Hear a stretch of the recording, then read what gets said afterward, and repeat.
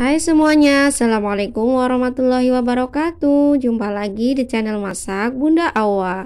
Di video kali ini Bunda Awa akan membuat pisang goreng kriuk Coklat keju. Bagaimana cara membuatnya? Simak terus videonya sampai habis ya. Bagi yang belum subscribe, jangan lupa subscribe. Tanpa menunggu lama, kita langsung saja ke cara membuatnya. Siapkan pisang. Di sini saya menggunakan pisang kepok yang belum terlewat matang. Saya menggunakan sebanyak 12 buah pisang kepok. Lalu di sini saya menggunakan piring untuk tempat pisang kepok yang sudah saya kupas. Langkah selanjutnya saya kupas pisang kepok lalu saya sisir. Untuk pisang yang digunakan tidak harus menggunakan pisang kepok ya. Bisa juga menggunakan pisang nangka ataupun pisang tanduk. Usahakan gunakan pisang yang belum kelewat matang ya teman-teman supaya nanti ketika kita goreng itu tidak mudah gosong.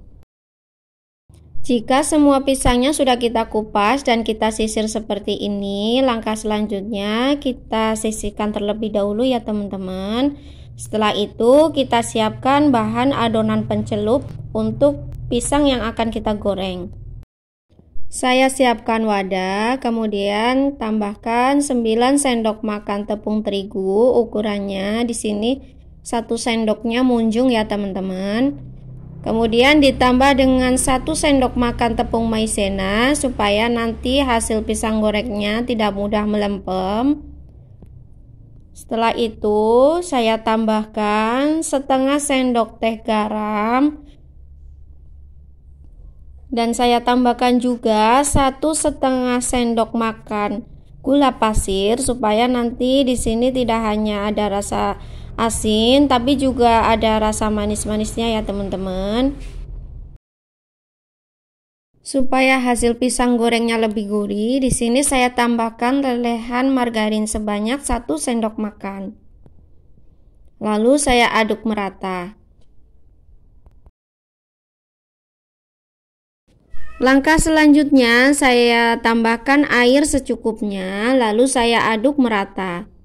Saya tuangkan secara bertahap supaya nanti tidak terlalu encer ya teman-teman. Jadi nanti kita akan gunakan adonan itu dengan kekentalannya itu pas ya, tidak terlalu encer dan juga tidak kental. Jika terlalu kental nanti hasil pisang gorengnya akan keras dan jika terlalu encer nanti pisang gorengnya itu tidak terselimuti oleh tepung terigu ya teman-teman. Kira-kira adonannya itu kekentalannya seperti ini ya teman-teman. Nah ini seperti ini tidak terlalu encer dan tidak terlalu kental ya teman-teman. Jadi ini sedang menurut saya. Langkah selanjutnya kita panaskan minyak lalu kita goreng pisangnya secara bertahap Usahakan kita menggunakan minyaknya itu lumayan banyak ya supaya matangnya lebih merata dan lebih maksimal menurut saya. Jangan lupa untuk beberapa saat kita balik pisang gorengnya ya teman-teman supaya matangnya lebih merata. Kita pisahkan bagian pisang yang saling menempel ya. Kita goreng pisangnya hingga kuning kecoklatan, kira-kira seperti ini ya teman-teman. Lalu kita angkat dan kita tiriskan. Langkah selanjutnya kita topping yaitu kita olesi terlebih dahulu dengan menggunakan susu kental manis putih seperti ini. Kita tuangkan di atas permukaan pisangnya. Setelah itu kita taburi dengan parutan keju secukupnya seperti ini.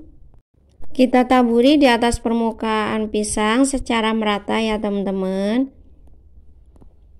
Setelah itu kita taburi dengan coklat seres seperti ini. Kita taburi secara merata di atas permukaan pisang yang sudah kita taburi dengan parutan keju sebelumnya seperti ini ya teman-teman. Setelah itu kita tuangkan atau kita olesi dengan susu kental manis putih yang tadi telah kita gunakan untuk mengolesi sebelum kita topping supaya nanti coklat seres dan taburan kejunya itu melekat atau menempel di permukaan pisang gorengnya ya teman-teman Ini dia pisang coklat kejunya sudah jadi ya teman-teman. Ini enak sekali loh teman-teman. Ini cocok sekali buat cemilan bersama keluarga di rumah. Sekian dulu video dari saya. Semoga bermanfaat. Silahkan dicoba di rumah ya. Terima kasih yang sudah menonton video ini. Wassalamualaikum.